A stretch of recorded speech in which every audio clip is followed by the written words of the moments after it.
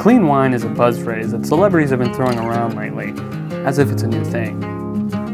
If the definition of clean wine is low sulfites, no sugar or unnecessary chemical additives, and minimal handling of the grapes, well, that's what we at R. Stuart, along with most of our neighbors in the Willamette Valley, have been doing for decades.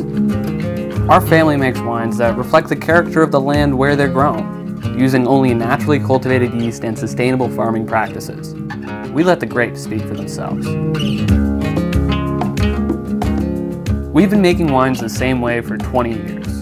No added sugars, vegan, gluten-free, and low in sulfites. It's taking what nature gives us, the very finest grapes we can access here in the Willamette Valley, and fermenting them with minimal additives or manipulation throughout the winemaking process. When you open a bottle of R. Stuart wine, you taste our story, crafted with love for people and the planet.